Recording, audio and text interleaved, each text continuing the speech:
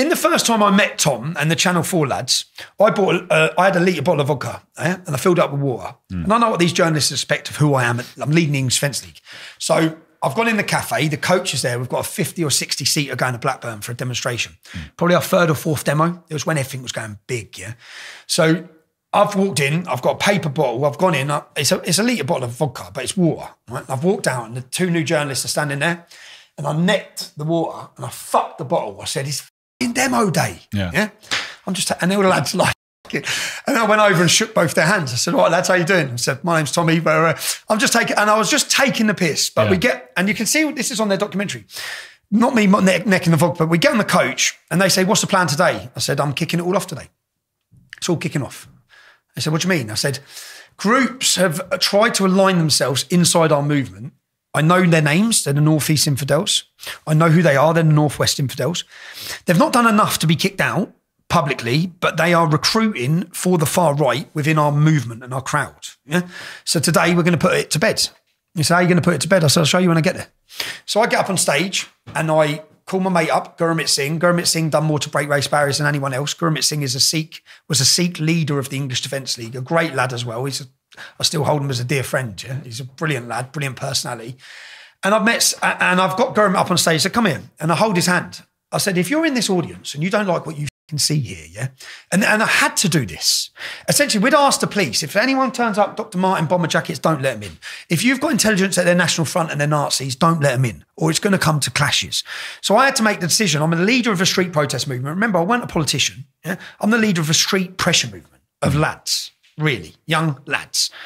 And we needed this divide. So I called Gurmit up and then I said, right, if you don't like what you see, this is this is us. You know, this is my England. Yeah, this is what we're standing for.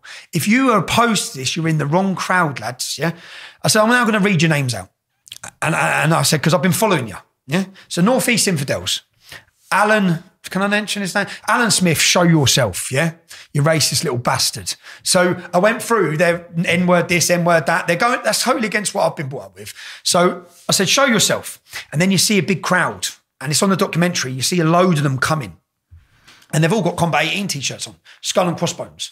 So as I come off the stage, these lads are from Newcastle. So I come, I come off the stage, and my intention was to knock them out on camera in front of the world. I thought we're going to town, and I told all the lads we're fighting these lot today. Yeah, hmm. we're going to kick. You gonna- wanted to show on the documentary that you were fighting against racists. wanted to just no, we wanted. I wasn't bothered about the documentary. I wanted to kick these fuckers out of our movement. It's our movement. Yeah, it's what we stand for. You lot go right. Well, you, you to me, you're the enemy. Hmm. The same way these jihadists are the enemy. You're opposite sides of the same coin. You're the same shit. You got you're going today, yeah, and we're kicking off because we they hadn't done enough. So we'd we'd seen them looking at them thinking they first of all they like the, the Welsh Defence League. They come dressed normally like lads. One demo, two demo, three demo. They're all in Dr. Martens and bomber jackets. They're then wearing braces. They're, they're then full on neo Nazis. But that we learned uh, again. Pure. I always say purity comes with time. You've got to give an organisation. Every time we're on the street saying we're not racist, we want normal people. The media are telling everyone they are Nazis, so they're they're advertising our organisation to Nazis. These scumbags, if they hold their own demonstration, we'll get twenty idiots. Yeah, but they want to be in amongst thousands, and then they want to recruit off the thousands. So I stood up on stage, held his hand. I come off the stage, and the first lad there was from Newcastle. Who are you, Alan? Whack. I, I cleaned him out. Yeah. I got done for it. I cleaned him out. Then we come we come off and we, and they're all trying to get to us. And it's all, all the crowds going mad. And we come to the coaches. I come back by the coaches and there's about 30 of them waiting. They've got corkscrews in their hands. And there's pictures of all this. It goes off. We fighting like fuck, yeah. The Channel 4, these this posh kid who lives in a house with seven other people. One's a trans, one was shagging the Oh. one was shagging the one of the people in the house was shagging the Prime Minister of Pakistan, yeah. It's all so f***ed up. But they live this mad little life, which is so far detached from the life I live, yeah. So, but he was really nice. Tom was really, I really liked him, the mm. kid. And then we get, and they sit down afterwards. We all get on the coach. Everyone's got blood on them. Everyone's battered. Everyone's like, "F***ing hell. And Tom's white. He's never seen probably anyone get Yeah. punched. Tom's Yeah. sitting there and he's just white. He goes, I can't believe it. I said, what? He said, you're fighting the far right. He goes, my house, my no one I know is going to believe this. Yeah. But do you know how the media portrayed that? English Defence League fight each other.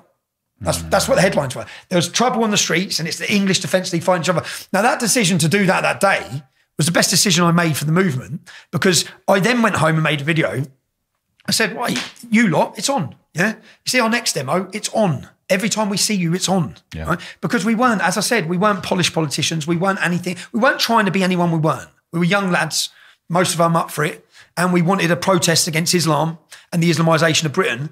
And then so, and I made that video, and one of the lads said, uh, "What was his name? Stevie Carroll. One of the lads, again from Newcastle, I made a video saying, listen, you've come to our demonstrations, it's all gone off today. Yeah. If you come again, it's going off every time, but we're now mobilising all the groups because we had a good relationship with the West Midlands, the West Midlands uh, EDL, lads from Lanesfield, same as us. There was there was hundreds of us, yeah, that would have been up for fighting the Nazis if they were coming.